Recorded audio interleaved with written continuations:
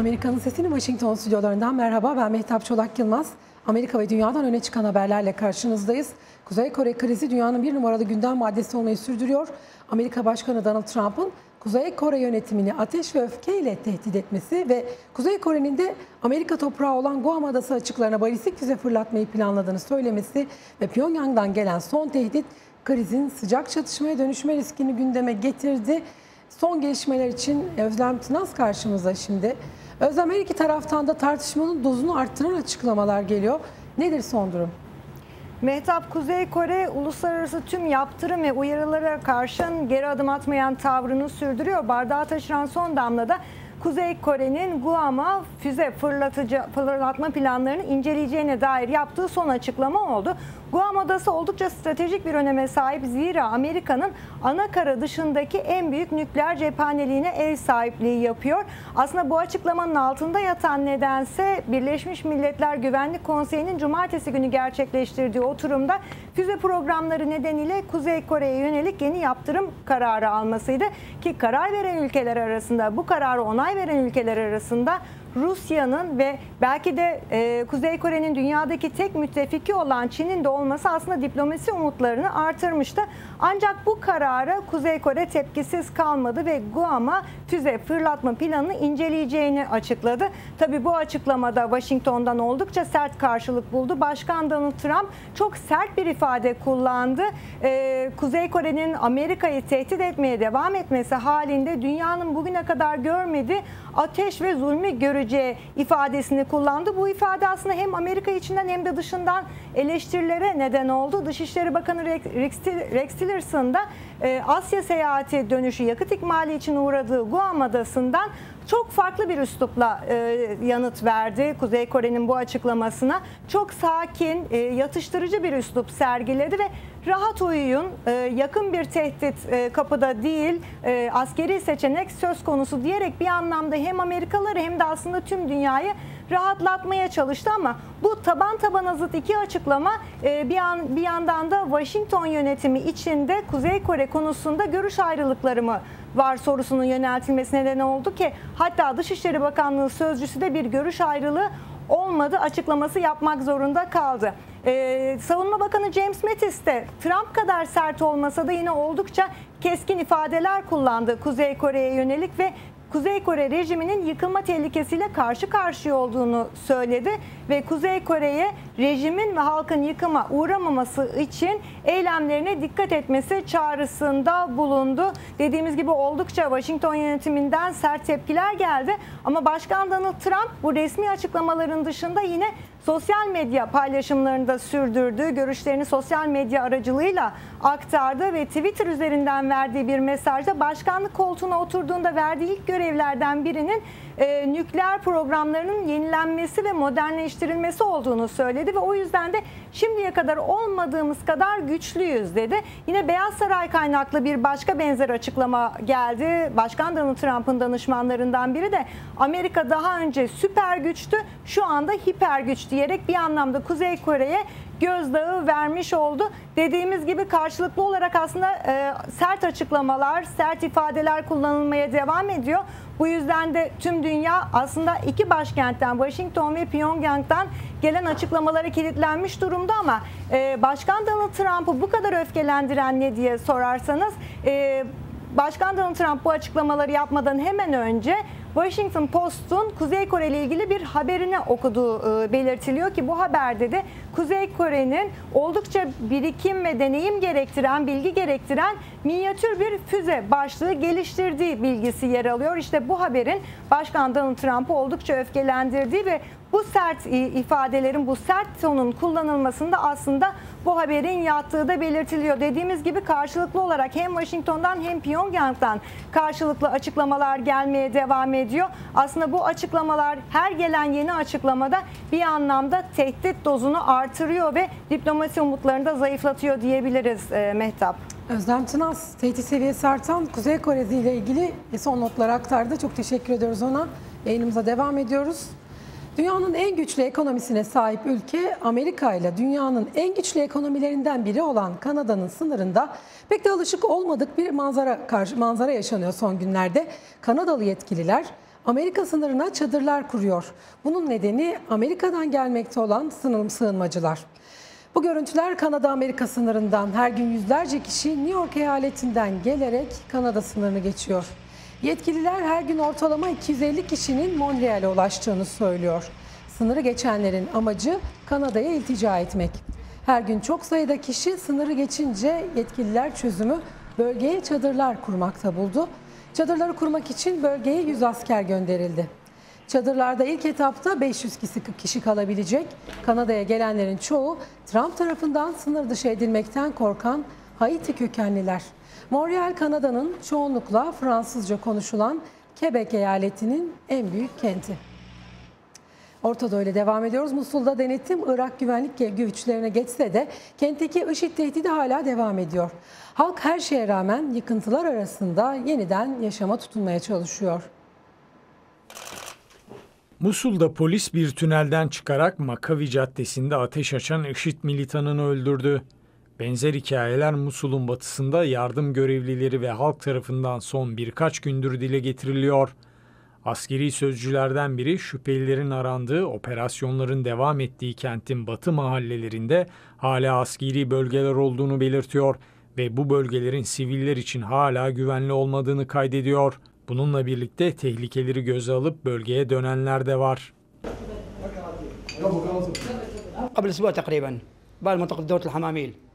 İki hafta önce geri döndük. Bölge enkazda dönmüş. Kardeşlerim ve çalışanlarım burada benimle. Yaşam koşulları burada zor ve çalışmak için geri geldik. Su depoları hazırlıyoruz. Umarım bu bölgede yaşayanlar, işlerine dönmek isteyenlerin hepsi aynı beklenti içindedir. Yaşam yavaş yavaş normale dönüyor. Rahat Abdülaziz mevcut tehlikeye rağmen komşularını geri dönmeleri konusunda cesaretlendirdiğini belirtiyor. Burada hayatın geri dönmesini istiyoruz. Biz yaşlılar için değil, ancak bu çocuklar için, yeni nesil için. Onlar ne suç işledi? Okulları yok, eğitim yok, sağlık hizmeti yok, hiçbir şey yok. Hayatın geri gelmesini istiyoruz çünkü insanlar geri gelecek. Batı Musul sakini Abdülfettah ise çocukların geleceğine dikkati çekiyor.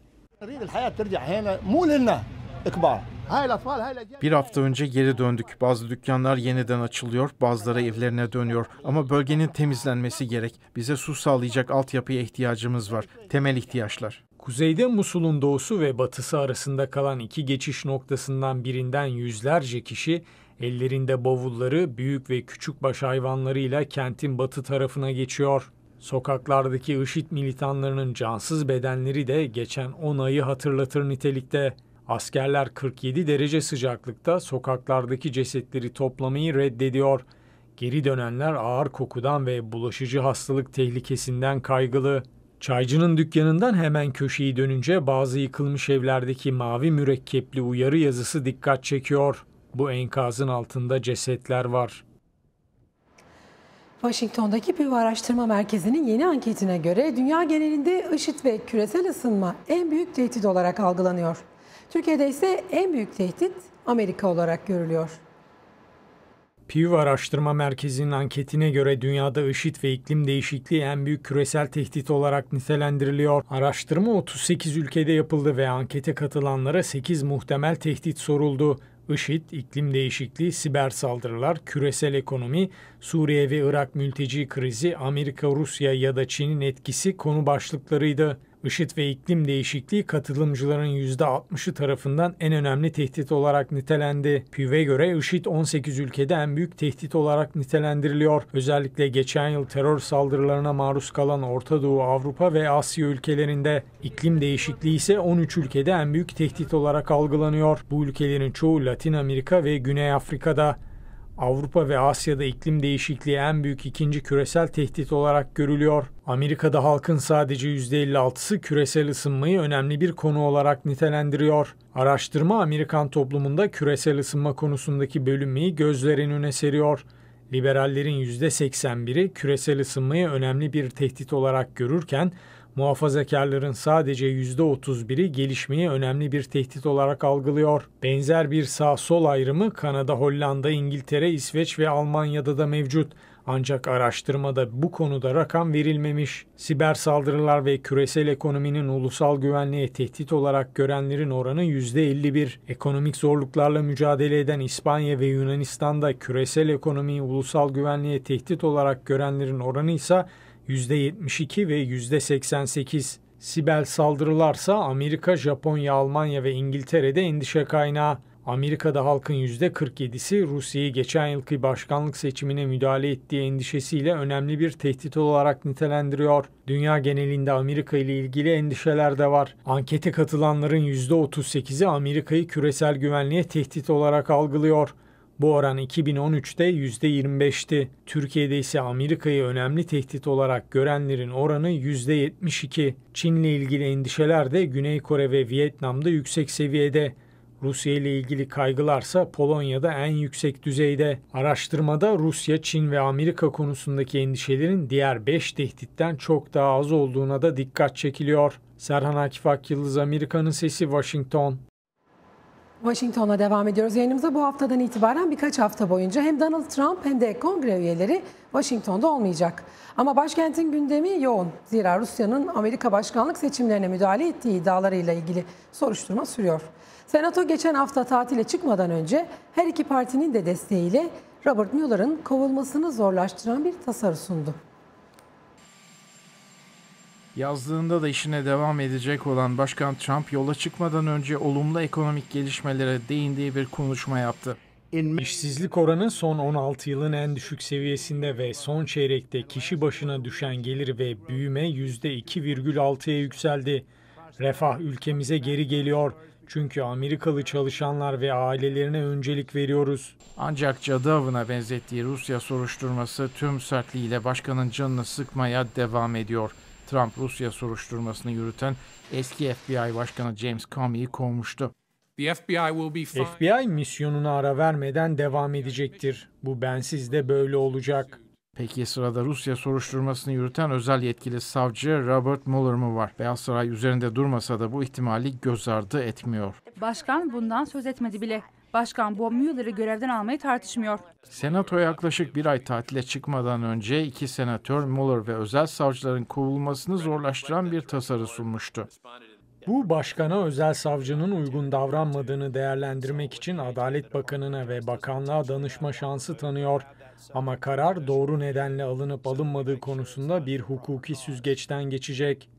Başkan Donald Trump Rusya soruşturmasını sürekli eleştiriyor. Bu arada Mueller kongredeki sert imajını sürdürmeye devam ediyor. Bob Mueller modern Amerikan tarihinin en saygın federal savcılarından biridir. Size cumhuriyetçi bir isim olduğunu ve yine cumhuriyetçi bir başkan tarafından atandığını hatırlatmak isterim.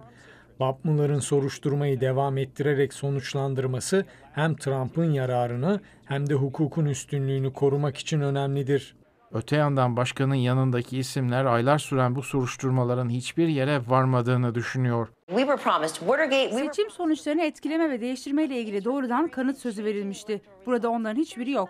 Mueller'ın geçen hafta büyük jüriyi soruşturmada toplanan kanıtları ve ifadeleri incelemekle görevlendirmesinin herhangi bir suçlamaya yol açıp açmayacağı ise bilinmiyor. Alparslan Esmer Amerika'nın sesi Washington. Silikon Vadisi Amerika'da teknolojinin kalbi. Peki Silikon Vadisi'nin kalbi neresi? Bu ünlü vadinin kalbi bir kafe.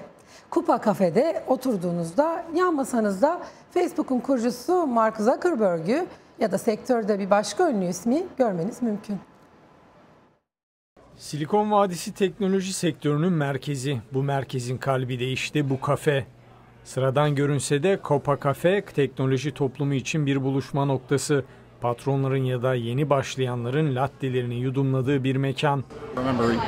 Mark Zuckerberg'i burada oturup toplantı yaparken birçok kişiyle konuşurken gördüğümü hatırlıyorum. Google gözlükleriyle Sergey Brin geldi. Herkes fotoğrafını çekip Twitter'da yayınlıyordu. Venezuela doğumlu Jan Koppel kafeyi annesi ve kız kardeşiyle açmış.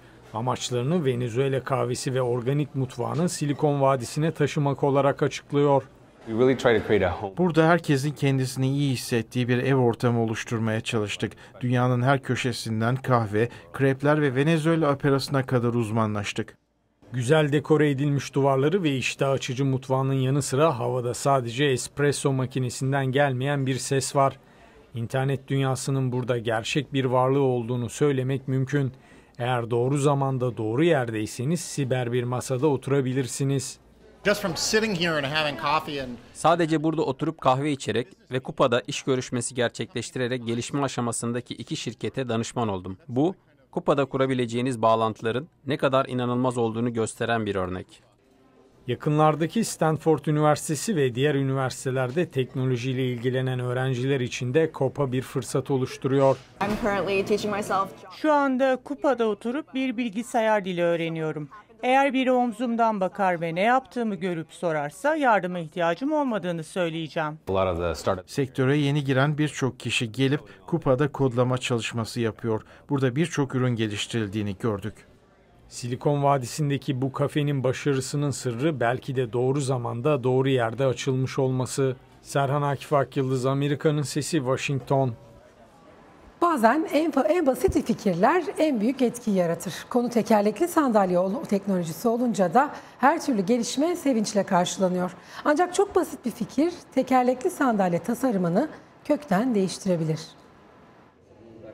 Tekerlekli sandalyenin ilerlemesi için büyük tekerlekleri itmek, diğerini ise yavaşlatmak gerekiyor. Geleneksel tekerlekli sandalyelerin işleyişi market arabalarından farksız. Her yöne dönen tekerlekleri var. Bu sistem birçok mekanizma için çok işe yarasa da bazıları için kullanımı zor. so great for others. Tekerlek çevirmek küçük bir ayarlamayla çok daha kolaylaşıyor. Uh, so in this one, Tekerlekleri düz pozisyonda kilitlemek ve daha sonra sırt desteğiyle kilidi yeniden açmak mümkün. Rear Giro adlı sistemde kullanıcı istediği yöne dönmek için sağa ya da sola eğiliyor. Bisikletlerdeki fren kablosu gibi çalışıyor. Ancak sistem sadece kabloyu çekmiyor, aynı zamanda itiyor. Ön tekerlekleri döndürmek için sırt desteği kullanılıyor. Sandalyenin tasarımcısı patent başvurusunda bulunduğunu ve ürünü piyasaya sürmek için yatırımcılardan destek beklediğini söylüyor. Dilge Timoçin, Amerika'nın Sesi, Washington. Böylece Washington'dan yaptığımız Amerika'nın Sesi Türkçe bölümünün yayınına sonuna geliyoruz. Haber ve söyleşilerimiz için internet adresimiz amerikanınsesi.com. Yarın yine bu ekranda buluşmak üzere. Hoşçakalın.